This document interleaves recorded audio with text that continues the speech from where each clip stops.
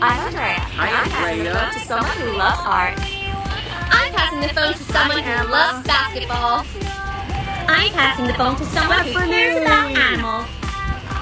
I'm passing the phone to someone who's awesome at science. I'm passing the phone to someone